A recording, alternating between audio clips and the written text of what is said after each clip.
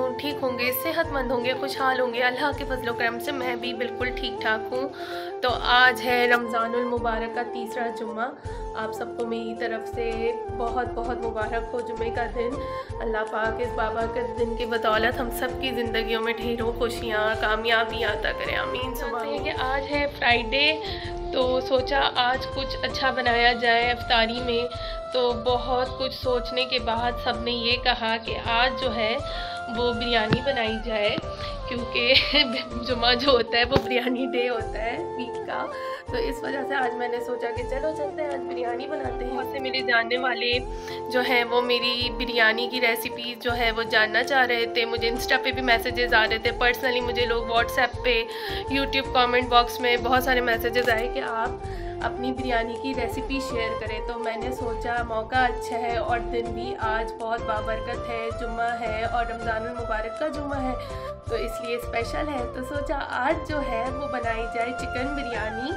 तो चलिए जनाब, चलते हैं किचन में, बनाते हैं चिकन की बिरयानी। उम्मीद करती हूँ मेरे स्टाइल की ये बिरयानी आपको ज़रूर पसंद आएगी। तो चलिए चलते हैं किचन में। तो जनाब, मैंने यहाँ ली है डेढ़ किलो के करीब चिकन। इसे अच्छी तरह सिरके वाले पानी से धो लिया था और बस इसमें ऐड किए हैं मैंने दो बड़े टेबल स्पून लहसुन अदरक का पेस्ट और इसे अच्छे से सारे चिकन के पीसेस में मल लिया है। तो जनाब, मैं जिस तरीके की बिरयानी बनाती हूँ, उसमें सबसे पहले करनी होती है मैरिनेशन तो ये मैं कर रही हूँ चिकन मैरिनेट सबसे पहले मैंने डाला था लहसुन अदरक, उसे चिकन के टुकड़ों पे अच्छे से मल दिया और यहाँ मैंने तीन बड़े खाने के चम्मच दही डाला है। ये दही जो है मैंने घर में जमाया था रमज़ान में और वैसे भी गर्मियों में दही ज़्यादा लगता है तो इसी वजह से मैं घर में जमा लेती हूँ। तो बस चिकन में डाल लेता हूँ, लहसुन, अदरक, दही और फिर वही रूटीन के मसाले, एक बड़ा खाने का चम्मच, पिसी हुई लाल मिर्च, दो बड़े खाने के चम्मच, पिसा हुआ ज़ीरा, दो बड़े खाने के चम्मच, पिसा हुआ धनिया ये देखिए, आप मसाले अपने हिसाब से एडजस्ट कीजिएगा। जिस मकदार में आप बना रहे हैं लाइक आधा किलो चिकन में बना रहे हैं तो फिर मसाले भी उसी क्वांटिटी में लीजिएगा। बस भाई, मैंने यहाँ ऐड किया एक साशे स्पेशल बॉम्बे बिरयानी मसाले का। मेरे पास साशे रखा हुआ था तो इसलिए मैंने साशे यूज़ कर लिया। अगर आपके पास डब्बा है तो उसमें से तीन बड़े खाने के चम्मच बिरयानी मसाले के यहाँ आप ऐड कर दें। आप कोई सा भी मसाला बिरयानी मसाला यूज़ कर सकते हैं। ज़रूरी नहीं है कि शान का ही यूज़ करें। कोई भी नॉर्मल ब्रांड का ले लें, या चाहे तो स्किप भी करते हैं, आप रूटीन के मसालों से बनाएँ, उससे भी बहुत अच्छी बनती है। ये देखिए जनाब ये है मेरी बिरयानी का secret ingredient, Chinese salt Ajinomoto ये लाजमी ऐड कीजिएगा। आप इसकी जगह चिकन पाउडर भी डाल सकते हैं, चाहे तो स्किप भी कर सकते हैं, लेकिन मैं कह रही हूँ कि आप ये ज़रूर ऐड कीजिएगा। इससे आपकी बिरयानी का जो फ्लेवर है, वो बहुत इन्हेंस होगा और बहुत ही ज़बरदस्त बिरयानी जो है, वो बन के रेडी होगी। तो बस यहाँ पे जो है, मैंने सारे मसाले चिकन में अच्छे से मिला दिए हैं और फिर मैं इसे तकरीबन आधे घंटे तक मैरिनेट करूँगी। अगर आपके पास टाइम कम है तो 15 से 20 मिनट भी इनफ है चिकन के लिए। बस यहाँ मैंने लिया है पतीला और उसमें थोड़ा सा ऑयल गरम किया है और ये सारे मैंने खड़े गरम मसाले यूज़ करूँगी। बादियान का फूल, छोटी इलायची, लौंग, जायफल, जवतरी और दार चीनी का दो तीन टुकड़े। बस जब तेल अच्छे से गर्म हो जाए तो ये सारे खड़े गरम मसाले हम इसमें ऐड कर देंगे जब ये थोड़े से कड़कड़ा जाएँगे देन फिर हम अपना ये चिकन इसमें ऐड करेंगे। चिकन में अगर आपको लगे कि पानी डालने की ज़रूरत है तो ऐड कीजिएगा। नहीं तो इसमें जो हमने दही ऐड किया है, उसी में जो है ये चिकन बिल्कुल गल के रेडी हो जाएगी। अच्छा दूसरी बात चिकन को बहुत हल्के हाथ से भुनिएगा, ताकि चिकन के पीसेस टूटे ना। ये देखिए जनाब, मैं बहुत हल्के हाथों से इसे फ्राई कर रही हूँ। यहाँ मुझे लग रहा था कि चिकन को थोड़ा सा पानी की ज़रूरत है तो मैंने जिस बॉल में चिकन मैरिनेट की थी, उसमें थोड़ा सा मसाला भी लगा हुआ था तो मैंने बस उसी में थोड़ा सा पानी ऐड किया और चिकन में डाल दिया।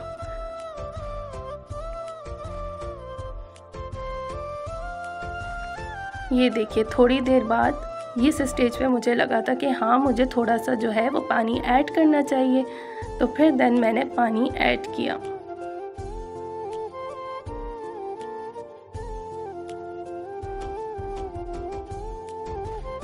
चिकन भी मेरी भुन चुकी है। देखें, मसाले ने तेल भी छोड़ दिया है। और बस, हम इसे 15 से 20 मिनट तक पकाएँगे और जब तक कि इसका तेल ऊपर ना आ जाए। मैं यहाँ नमक ऐड करना भूल गई थी तो बस यहाँ मैंने ऐड किया है नमक।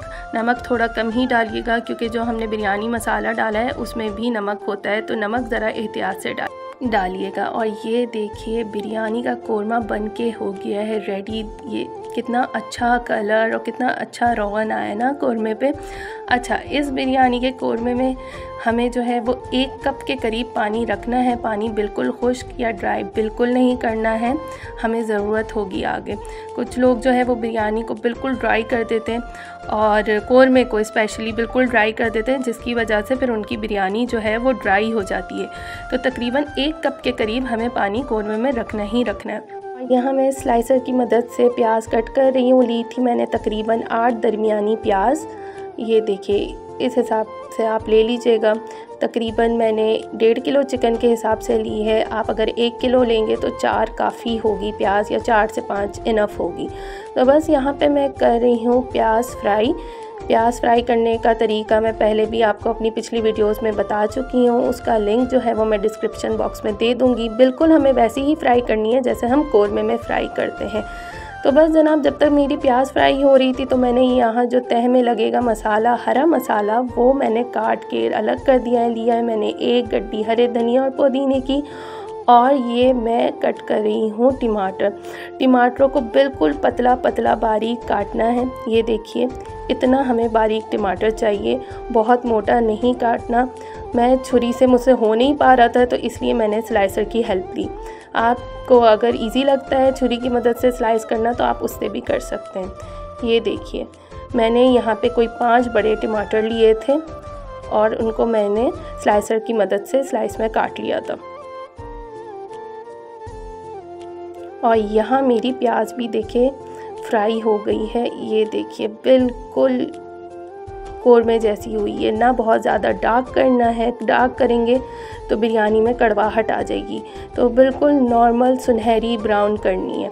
यहाँ पे जो है, मैंने आलू लिए हैं और आलू को अच्छी तरह धो के बॉईल किया है। बस पानी में मैंने जर्दे का रंग शामिल किया है और फिर वो बॉईल होके कुछ इस तरीके से निकलेंगे। लाजमी पानी में जो है वो जर्दे का रंग डालिएगा। इससे बिरयानी में जो आलू है ना, वो बड़े अच्छे दिखते हैं। ये देखिए। और बस इन आलूओं को हम शामिल कर देंगे बिरयानी के कौरमे में। दो से तीन मिनट पकाएँगे ताकि आलूओं में भी जो है वो मसाला अच्छे से लग जाए। अब जनाब मैं एक और अपनी बिरयानी का सीक्रेट इंग्रेडिएंट इसमें ऐड करूँगी। वो है बिरयानी एसेंस आराम से हर बड़े सुपर स्टोर पे अवेलेबल है। यहाँ पे मैं इसके ही दो कैप ऐड कर दूँगी। ये देखिए, एक कैप ये ऐड किया। और एक और। बस मैं ये ऐड करूँगी। ज़रूर शामिल कीजिएगा अपनी बिरयानी में एसेंस। इससे बहुत अच्छा बिरयानी का अरोमा आता है।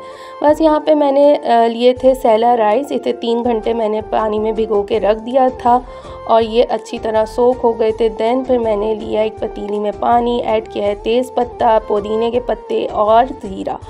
ऐड किया है फिर मैंने नमक। जब पानी में बहुत अच्छे से उबाल आ जाए फिर हम इसमें शामिल करेंगे चाम। बिरयानी के चावलों को हमेशा उबलते हुए पानी में ऐड करना चाहिए। बस ये देखें, पानी में उबाल आना शुरू हो गया है और मैं ऐड करूँगी इसमें चावल। ये देखिए जनाब, यहाँ मैंने ऐड कर दिए चावल चावलों को हमें फुली बॉईल नहीं करना है, एक कनी रख के उबालनी है ताकि जब हम बिरयानी दम पे लगाएँ तो उसमें गल जाए हमारे चावल। अगर फुली बॉईल कर देंगे और फिर बाद में चावल दम भी लगेंगे तो उससे चावल जो है वो हलवा हो जाएँगे, ढसला हो जाएँगे और खिले खिले नहीं रहेंगे। ये देखिए जनाब, मेरे चावल भी बॉईल हो गए थे, सारा पानी मैंने निथार लिया था और बस सबसे इंपॉर्टेंट स्टेप अब इसका आएगा वो है चावलों को, यानी कि बिरयानी तह लगाना। तो चलिए जनाब, लगाते हैं बिरयानी की तह। ये देखिए, उसी पतीले में जिसमें मैंने चावल बॉईल किए थे, ये सारा मसाला, यानी कि बिरयानी कोर, का कोरमा ऐड कर दिया है। फिर हम इसमें ऐड करेंगे ब्राउन हुई भी जो हमने प्याज रखी थी, वो ऐड करेंगे। ये देखिए, आप चाहें तो एक साथ सारी प्याज डाल सकते हैं, लेकिन मैंने थोड़ी थोड़ी करके डाली थी, ताकि अच्छे से चावलों में और कौरमे में ये प्याज जो है वो अच्छे से मिल जाए, घुल जाए। अब यहाँ पे मैंने सारा हरा मसाला डाला है, हरा धनिया, पुदीना और टमाटर, सब जगह अच्छे से फैला दें। ये देखिए।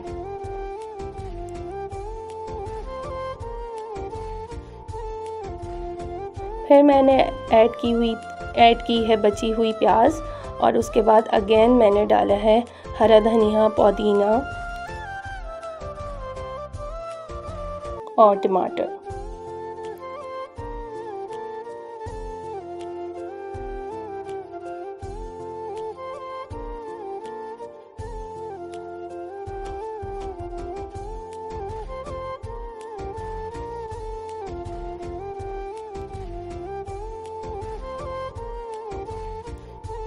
और फिर मैंने ऐड किए हैं यहाँ पे हरी मिर्च। हरी मिर्च मैंने ऊपर से डाली नहीं है। मैंने कौरमे में दबाई है ताकि कौरमे में जो है और चावलों में जो है इसका अरोमा जो है, इसका फ्लेवर जो है वो अच्छे से आ जाए। आप चाहें तो ऊपर से भी डाल सकते हैं, लेकिन जब आप इसको इस तरीके से दबा के डालेंगे ना तो बिरयानी में बहुत अच्छी खुशबू आएगी। तो जनाब, अब हम इसमें डालेंगे जर्दे का रंग। जर्दे का रंग थोड़ा ज़्यादा डालना है। मैंने यहाँ तीन बड़े खाने के चम्मच डाले थे। आप लोगों को नहीं पसंद तो आप स्किप कर सकते हैं, लेकिन बिरयानी का कलर और बिरयानी जो दिखने में लगती है, वो इसी जर्दे के कलर से ही अच्छी लगती है।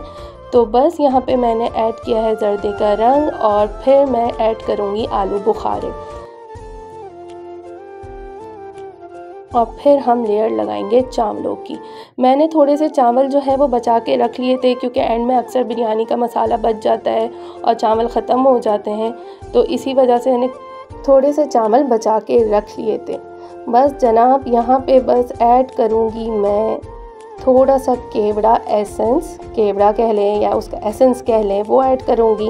मेरे ख्याल से वो शायद मैं शूट करना भूल गई थी, लेकिन वो भी लाजमी डालिएगा उससे बहुत अच्छी बिरयानी की खुशबू आती है। तो बस जनाब, ये हो गई हमारी बिरयानी की तह मुकम्मल और अब इसे हम लगाएँगे दम पे। मैं यहाँ पे दम लगाने के लिए अखबार यूज़ कर रही हूँ। आप चाहे तो मलमल का कपड़ा भी यूज़ कर सकते हैं। और बस मैंने इसके ऊपर रख दिया था सिलबट्टे का बट्टा। और शुरू में जो है हमने, जब हम बिरयानी को दम लगाएँगे तो तकरीबन तीन से चार मिनट इसको थोड़ी तेज़ आँच पे रखना है। उसके बाद जो है हमने बिल्कुल धीमी आँच पे इसको 15 से 20 मिनट दम पे रख देना है।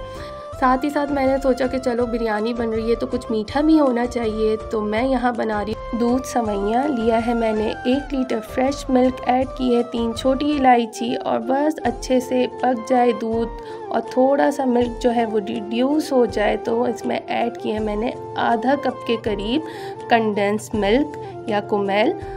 देन बस फिर इसमें हम ऐड कर देंगे सेवैयाँ या वर्मिसली और इसको थोड़ी देर पकाएँगे। और ये हमारा ईजीएस्ट सा क्या कहते हैं स्वीट डिश बन के रेडी हो गई।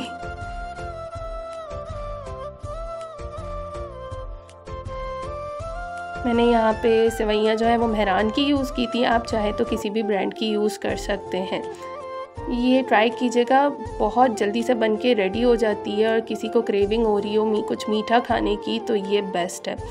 जल्दी से भी बन जाता है और बहुत मज़े का भी लगता है हेल्दी भी है। अच्छा जी, जब हम इसमें सवैयाँ ऐड करेंगे तो हमें चम्मच चलाते रहना है, ताकि सवैयों की जो है वो गुठलियाँ ना बने और ये खिली खिली रहें। इसलिए लाजमी हमने इसमें चम्मच चलाते रहना है। यहाँ मुझे थोड़ी सवैयाँ कम लग रही थी तो मैंने थोड़ी और ऐड कर दी। और बस चम्मच चलाते रहें चलाते रहें। ये हार्डली पाँच से दस मिनट में ये डेज़र्ट कह लें या स्वीट डिश कह लें या दूध सवैया कह लें बन के तैयार हो जाता है। और बहुत ही मज़े का लगता है। मेरे बच्चों का ये बहुत फेवरेट है। आप भी ज़रूर ट्राई कीजिएगा। देन बस ये हो गई है रेडी मैं इसे कर लूँगी डिश आउट और इसे गार्निश करूँगी कटे हुए या कुटे हुए बादामों से। ये देखिए।